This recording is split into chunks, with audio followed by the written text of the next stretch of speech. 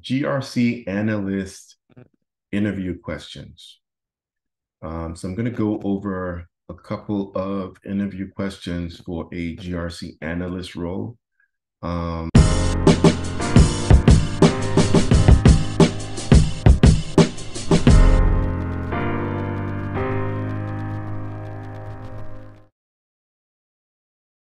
um, first one is walk me through the risk management framework and how you were involved in any of the phases of the risk management framework.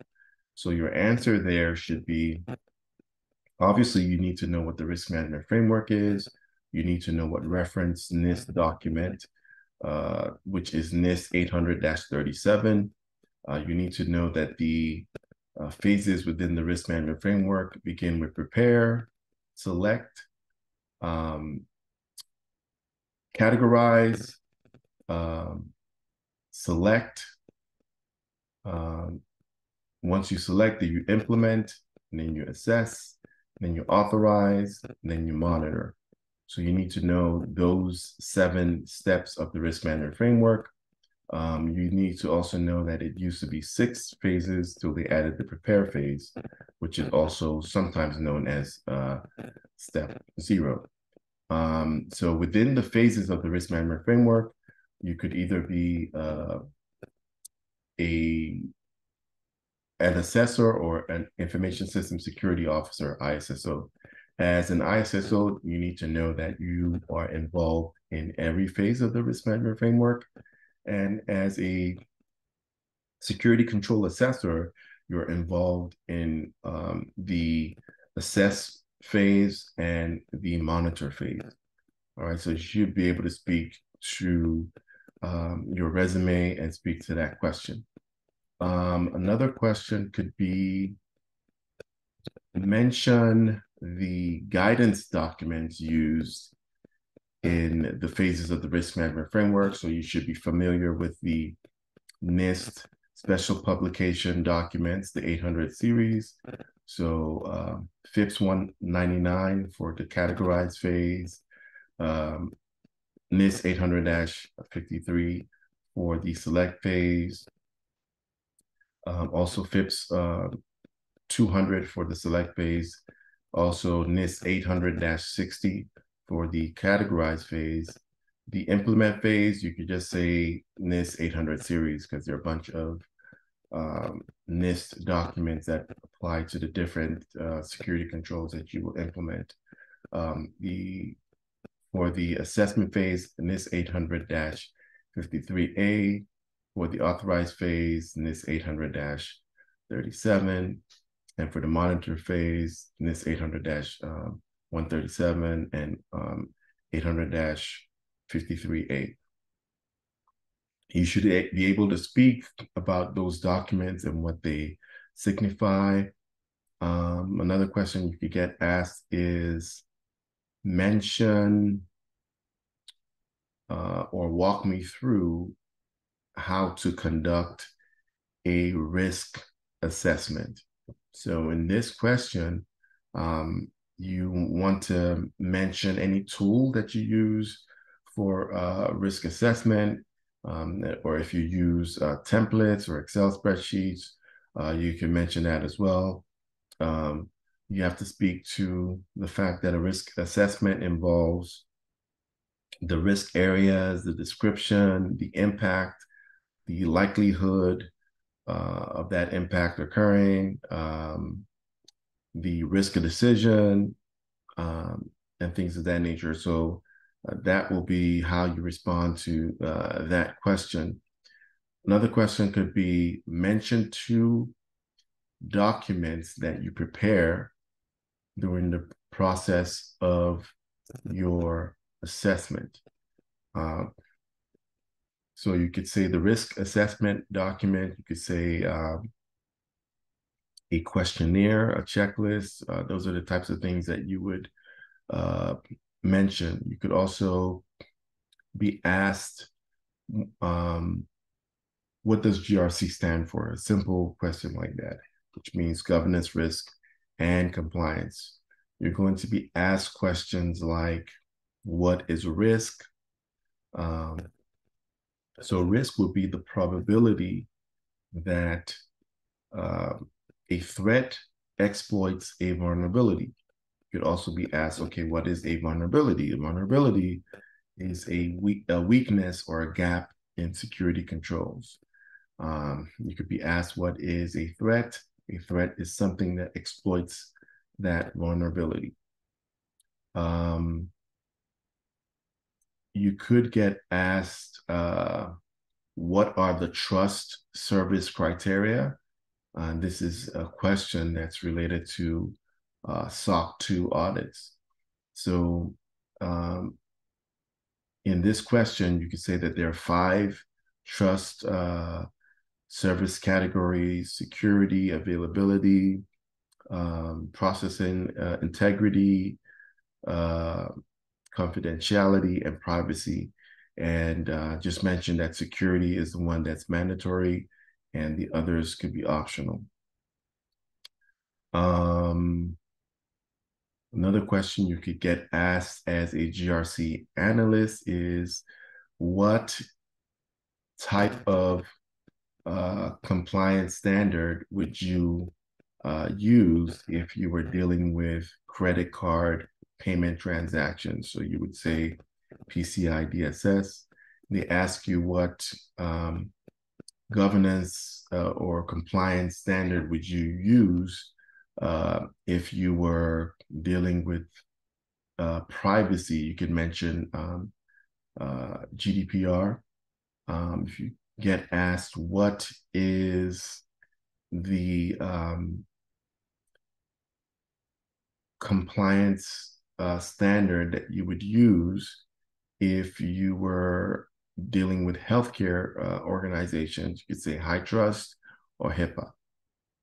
Um, let's see, um, question you could get asked is, what are uh, four types of uh, risk responses that your either your authorizing official or your uh, chief information officer or whatever a party is responsible for accepting risk in that organization.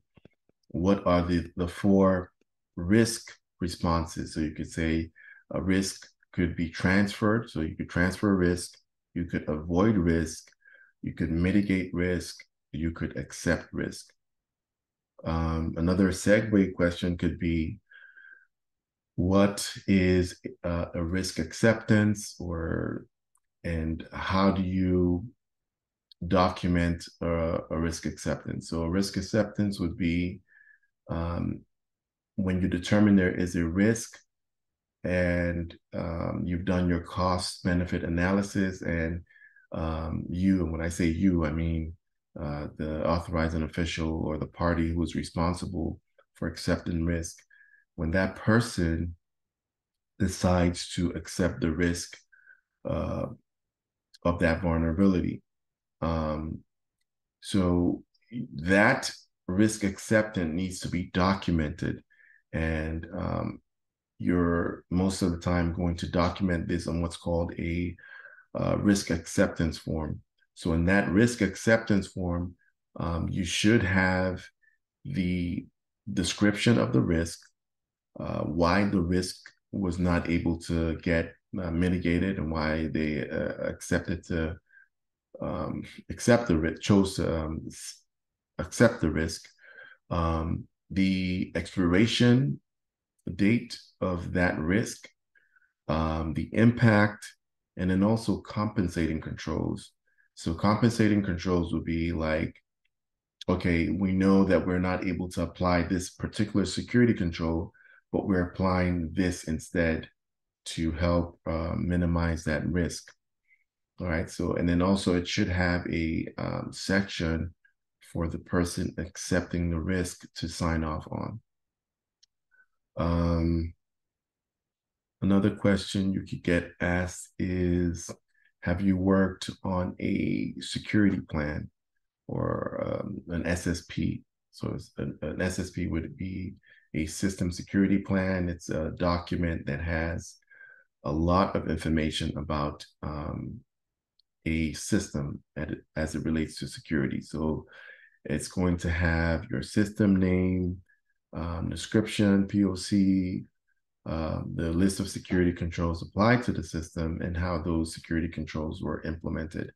Um, so if you're asked, have you worked on a um, are you familiar with a security plan? Have you worked on a security plan? You should be able to mention the different sections within a security plan and what work, specific work you did while you worked on the security plan. So you could either review a security plan, um, create or develop a security plan, or um, update a security plan. Um, another question you can get asked is, what is the difference between a policy and procedure? So a policy would be more of a general uh, statement, whereas procedures would be step-by-step um, guide. So this is how you install a firewall. Step one, blah, blah, blah. Step two. Um, Another question you get asked is, tell me a scenario where you went above and beyond at your work. So these are general questions that may not only uh, apply to cybersecurity, could be applied to any uh, industry. So you want to say something to the effect of, um, even though um, your client failed to provide artifacts, you um, gave them ample time to provide the artifacts, you gave them um, examples of artifacts to provide.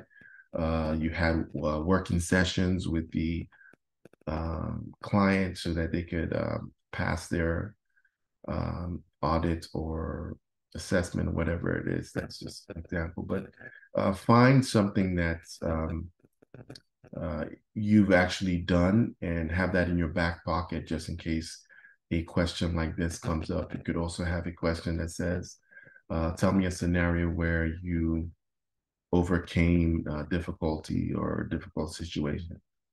So have those type of behavioral questions ready uh, to, to answer.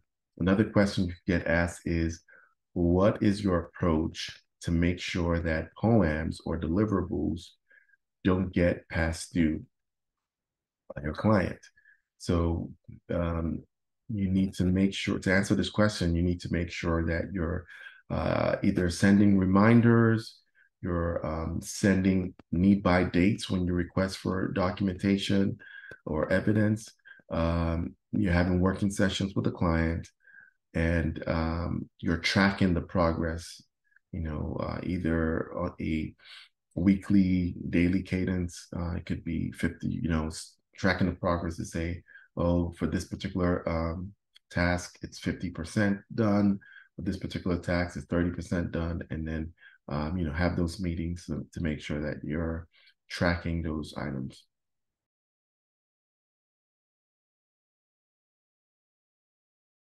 Don't forget to subscribe and like. We're also on IG at Cyber First Solutions. Thank you.